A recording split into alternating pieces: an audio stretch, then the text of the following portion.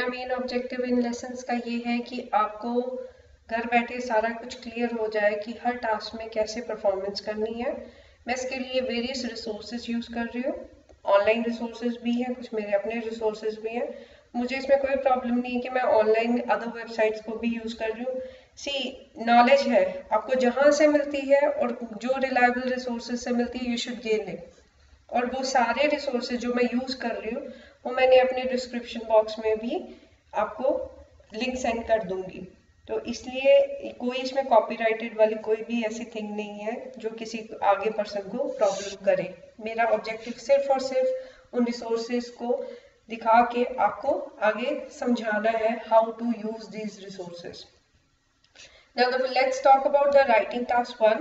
Writing task one के लिए हमारे पास 20 minutes होते हैं. This is for the general one.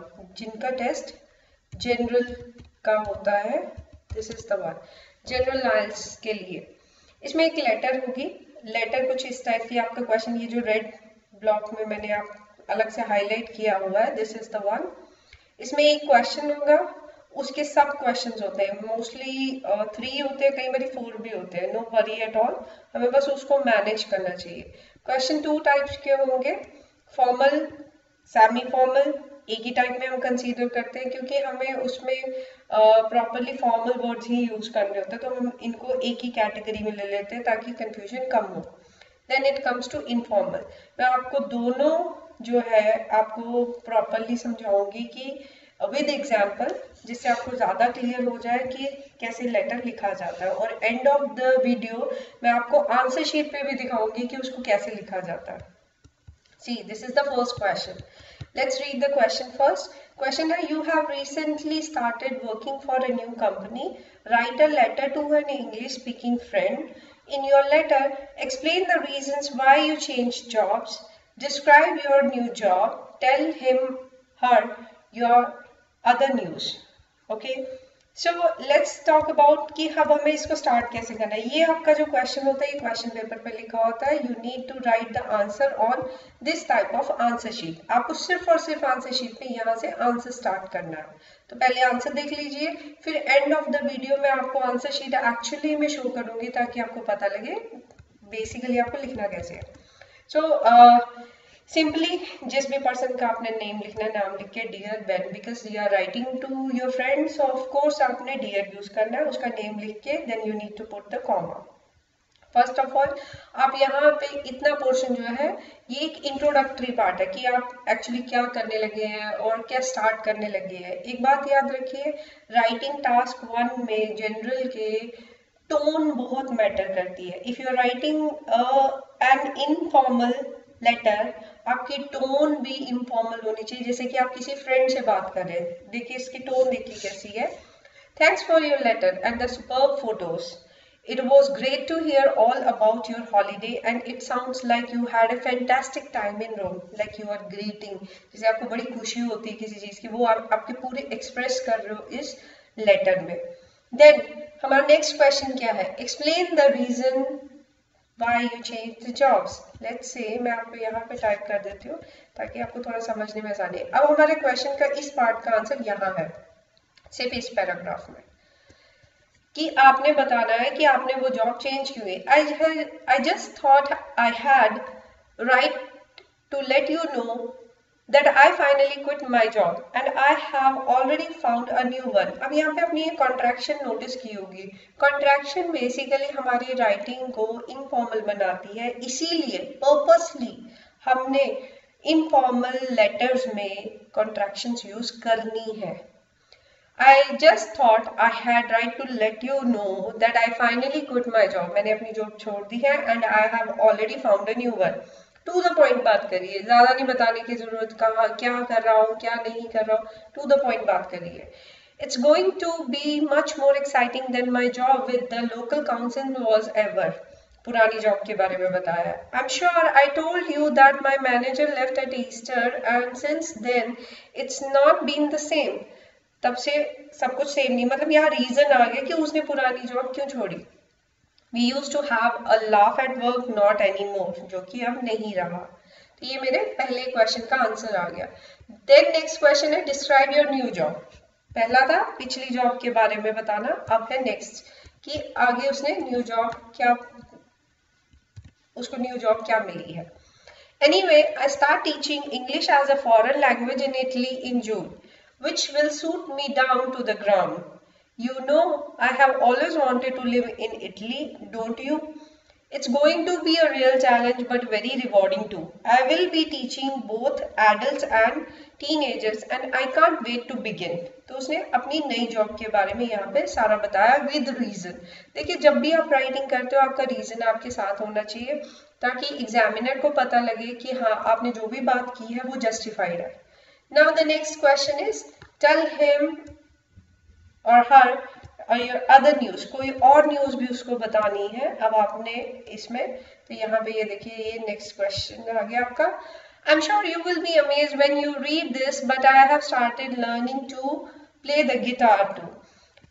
आप ये बताना चाह रहा है कि मैंने इसको आपको जान के और भी हैरानी होगी मैंने गिटार चलाना सीख लिया है। You must remember how I did music lesson at school but this is so much fun तो यहाँ पे उसने दूसरा न्यूज़ जो एक्स्ट्रा न्यूज़ है, वो उसने उसको अपने फ्रेंड को दी है।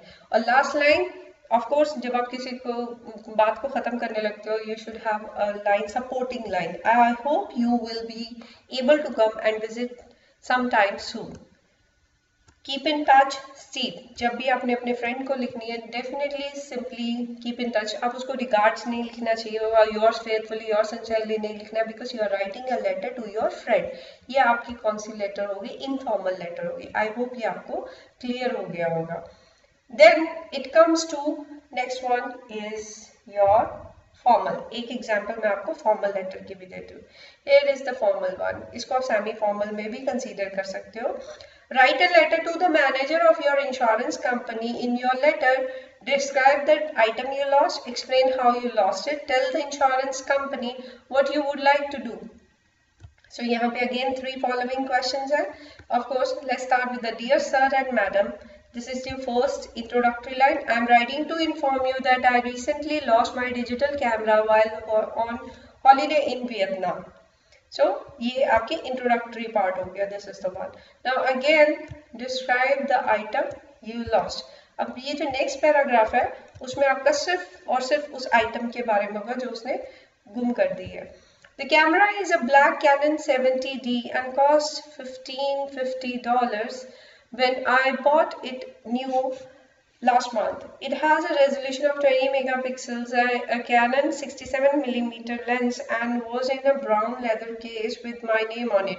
उसको देखो इसने to the point जितनी डिस्क्रिप्शन uh, थी उस पर्टिकुलर आइटम की और कैमरा की उसने कितने क्लियरली यहाँ पे मेंशन किया हुआ है so don't drag the things रबड़ की तरह किसी भी चीज़ को किसी भी सेंटेंस uh, को ज़्यादा स्ट्रेच मत करिए टू द पॉइंट बात लिखिए and then finish it up then wrap it up अब नेक्स्ट क्वेश्चन हमारा है explain how you lost it अब आपने उसको खोया कैसे I lost it when I was having coffee with my husband in the backpacker area of Ho Chi Minh City. I believe the coffee shop was called Highlands Coffee and it was on the Family Lao Street, we had been at the coffee shop for around 45 minutes when I noticed it was missing. Explain how you lost it. आप कहाँ पे थे उसने location बताई, how the situation was and everything she explained. Let's consider the next one. अब आप क्या चाहते हो कि इंश्योरेंस कंपनी उसको उसके जो नुकसान हुआ how to fulfill that one So here the question is, I am entitled to make a claim for the value of the above mentioned item and request that you send me details on what I need to do in order to proceed.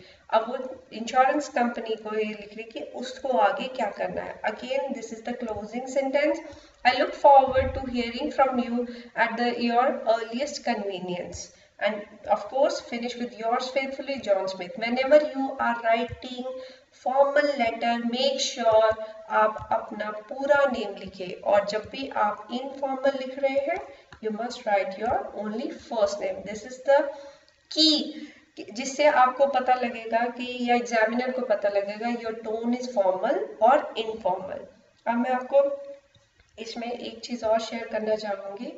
आपको ऐसे templates writing के कुछ templates online आराम से मिल जाएँगे जिसमें आपने कुछ चीज़ें याद ही कर लेनी कि फॉर्मल के लिए मुझे क्या वर्ड्स यूज़ करने हैं सेमी फॉर्मल की बिगनिंग कैसे करनी है ये these are the things that you can keep with you और ये देखिए स्टार्टिंग कैसे करना I am writing in connection with regard I am happier I'm dissatisfied.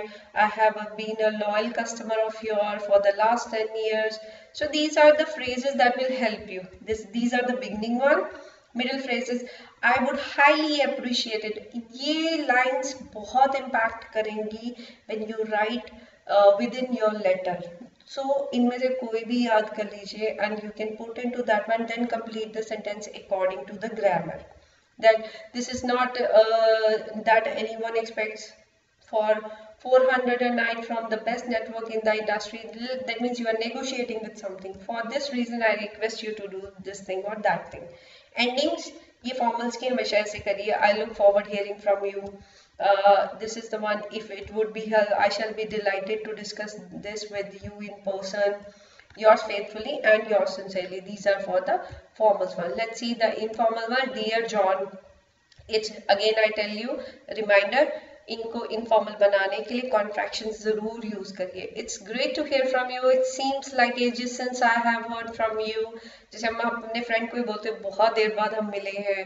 So how about it guess what you should try you should and then you can do they drop me a line if you are free when you will be available these are the words that you can use best regards, warm wishes, or simply you can say love from that one. Whatever the thing that you think it's appropriate you can put into the your letter that will make the uh, letter formal or informal one more thing i want to consider here जो आपको याद रखनी है exam में आपको task one मिलेगा तो आप टास्क वन टास्क टू एक साथ मिलता है so so, I generally suggest to the student task one सबसे end में करनी है because do not consume too much time on this one.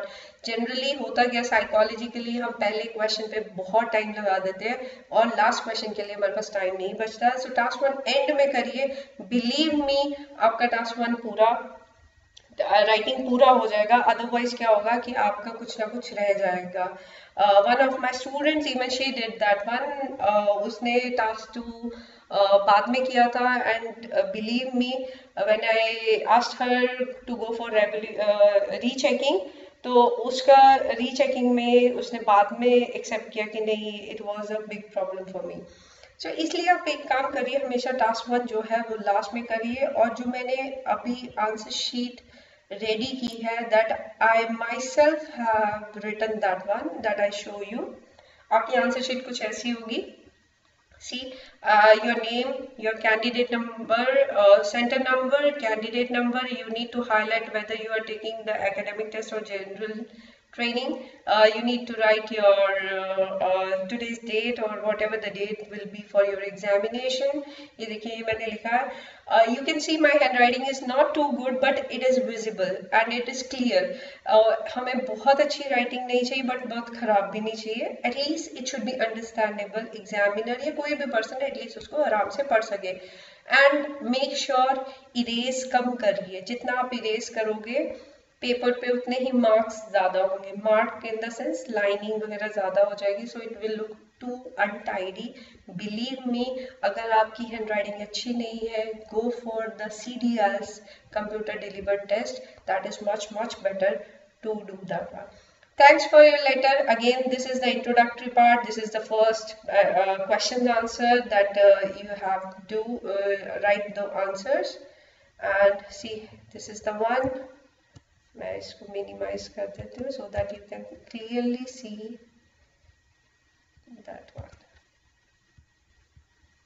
see and do not write below this line you can ask for the extra sheet but task one के लिए extra sheet की ज़रूरत नहीं पड़ती है so don't do this blunder कि task one के लिए भी आपको because you need to write only 150 to 180 words ये देखिए second page है on the back of it ये हमारा one, two, three third paragraph this is my fourth paragraph and this is the ending and this is just you need to write your name that's it so make sure कि आप इन चीज़ों का ध्यान रखें. Otherwise it will be a big problem for you या बहुत ज़्यादा लिख रहे हो तो भी प्रॉब्लम है, बहुत कम लिख रहे हो तो भी problem make sure it should be appropriate जितना चाहिए, उतना ही.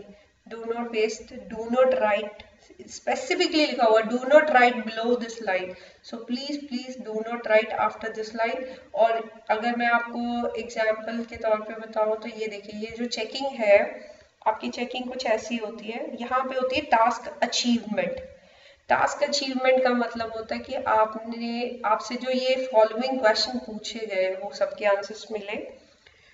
Comprehensive the thing is here यहाँ पे हमें number of words under length penalty of topic अगर आप लिखते तो भी मेमोराइज अगर आपने याद किया हो तो भी इलिजिबल जिसका कोई मतलब नहीं भी G R as for the grammar and here basically आपकी हर चीज़ चेक होती है so do not write below this line कई बच्चे लिख देते हैं डोंट डू दैट वन और आपने एक चीज़ नोटिस की मैंने सारा पेंसिल से लिखा है। मेक uh, श्योर sure आप भी पेंसिल से लिखे पेन से लिख सकते हैं बट बिलीव मी पेंसिल से लिखना बेटर है because you can erase your mistake mistakes sorry and I think writing task one आपको सारा क्लियर हो गया होगा। ये मैंने जो एग्जाम्पल्स uh, ली है these are from one of the very good websites that is called IELTS advantages मैंने उसका डिस्क्रिप्शन बॉक्स में मैं आपको लिंक सेंड कर दूँगी। और ये जो टैम्पलेट uh, है ये रैंडमली मैंने गूगल में से सर्च किया है। आप सिंपली सर्च कर सकते हैं writing task one letters or informal words or phrases middle phrases you can easily get from that one.